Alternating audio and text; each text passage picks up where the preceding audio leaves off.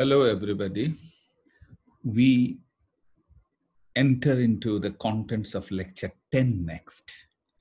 Here we will discuss something much awaited, namely the concept of relativistic mass and its relation to the energy of a relativistic object. Of course, Newtonian mechanics has taught us that for isolated systems, including systems which are colliding with each other or one object is breaking down into two objects, momentum and energy are conserved quantities and these conservation principles are also related to some symmetries of space-time. Even without entering into the issues of such symmetries, at least a starting point in the relativistic formulation of mechanics should be the assumption that each of two frames S and S prime, with which by now we are familiar, momentum conservation should be there, and in some sense, energy conservation should also be there. But then, energy, thinking in terms of kinetic energy, involves not only velocity but also mass. Of course, how velocity transforms under Lorentz transformation is something that we have spent much time on very recently, but mass is a debatable or a questionable proposition. The invariance of mass under Galilean transformation may in term may leave scopes for going beyond it, as, as I said, was noted by Newton himself. Even without entering into history, if it is not, then mass can, in general, mass or the proportionality constant between force and acceleration may in general be a function of the velocity of an object also. And we start the discussion at least by not discounting that. So let us start by assuming mass is equal to m of v. In the worst case, to achieve consistency, this will be a constant function. So keeping this in mind, we think of a process where an object of mass m0, look at page 54, an object of mass m0 behaves something like a stationary bomb and it explodes by breaking into two equal fragments, each of which in the rest frame of M0 recede in opposite directions, each with uniform velocity, at least that's when we are considering them. Uniform velocity is achieved and they're ricocheting with that velocity in two opposite directions.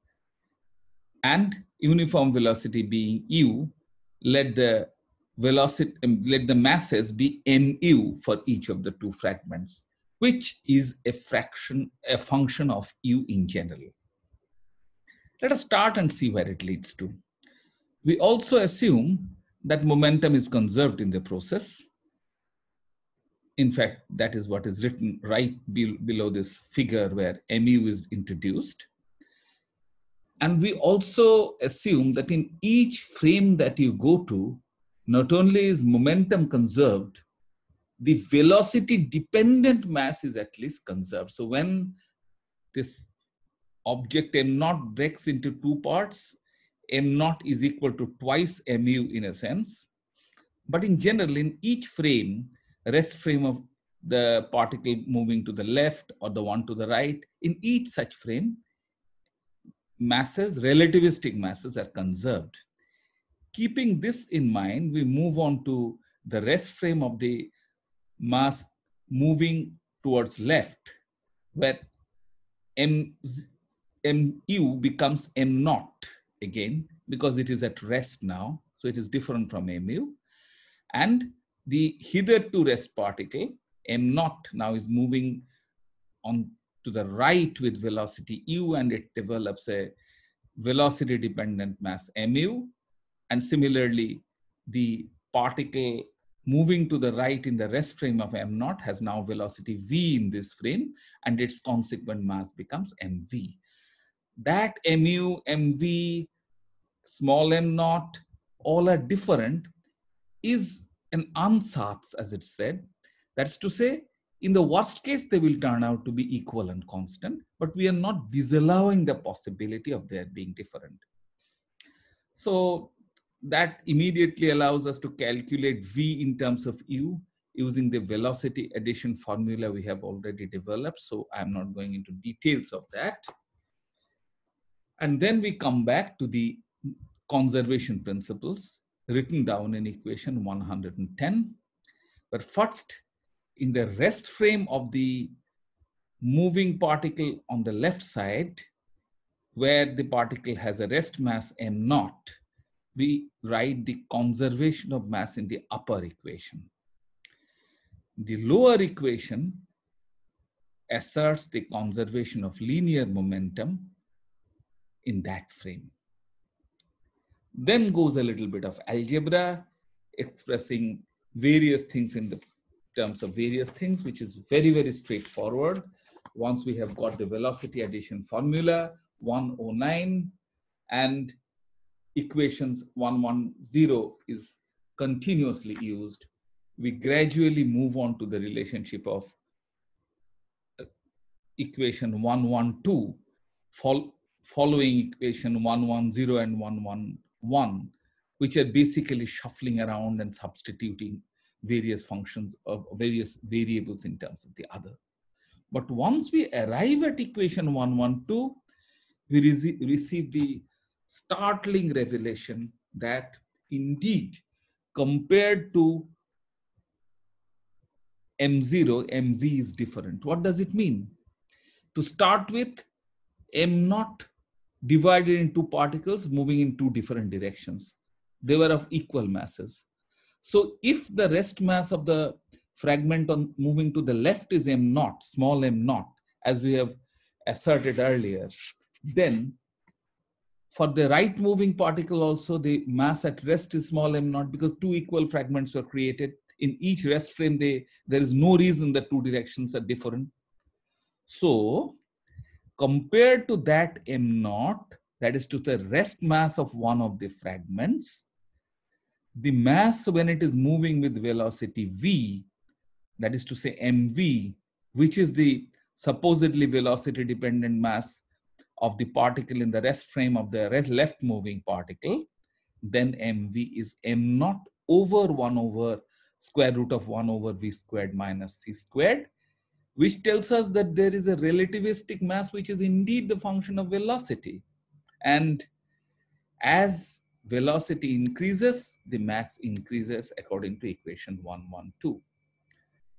Of course, if v approaches c, something inadmissible happens, velocity becomes infinity, but v equal to c is a natural bar.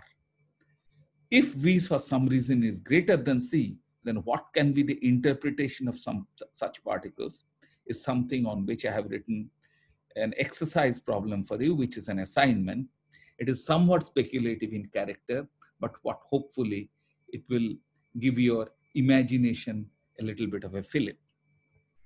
Now, what does the relativistic particle means or relativistic mass means? This is what we have to assert before we end the discussion.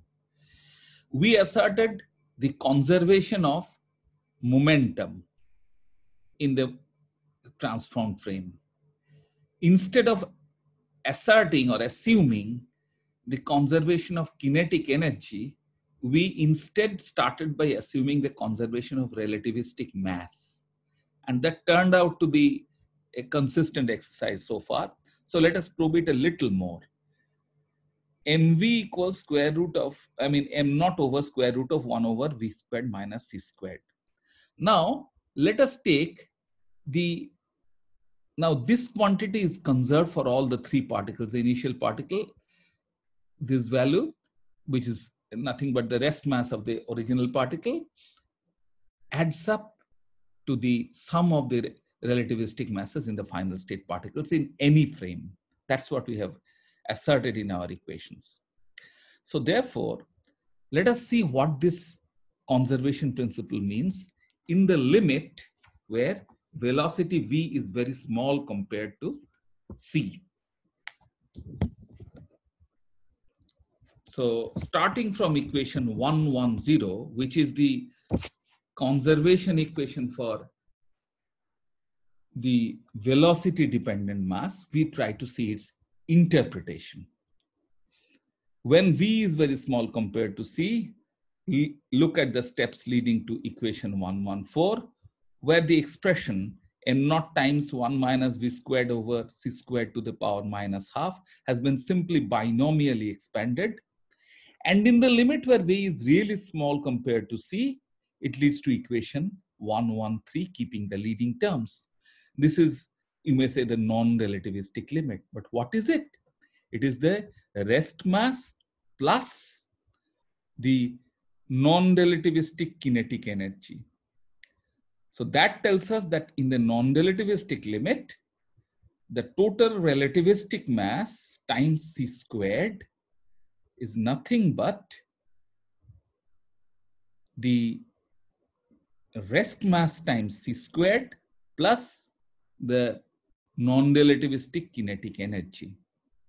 So what we have asserted is that in addition to the kinetic energy, if you add the mass part, that is the total energy that yields the non-relativistic limit so easily.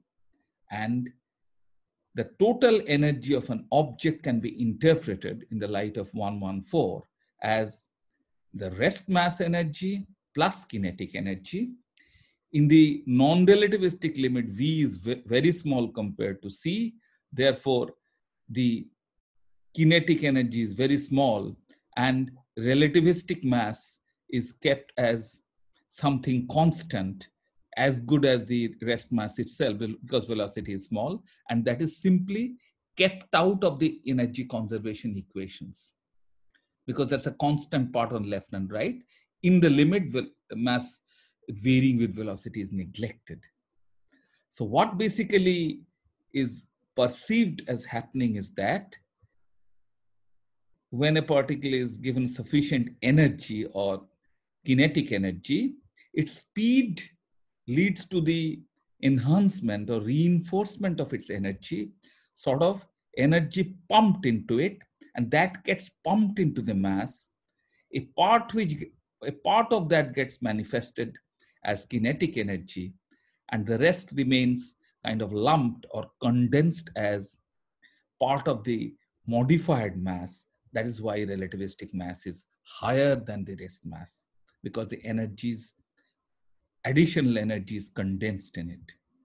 This is the origin of the famous formula written in 115 E equal to mc squared and this additional energy being connected with mass enhancement or mass fall when there is energy released in some process the final state masses will relativistic masses will add up to a lower value than the initial state masses. This was the underlying principles of nuclear reactions and some such reactions could be utilized in generating huge energies which at first was perceived as the source of nuclear bombs which caused the devastation in Hiroshima and Nagasaki and which is being built by many countries for defense purposes now. But on top of that, such energy released can be used for peaceful purposes, such as power generation. In this note, we end today's lecture and remind you of the small exercise at the bottom of page two, page 56, which doesn't require too much of calculation, but requires a little bit of thinking. See you next time. Thank you.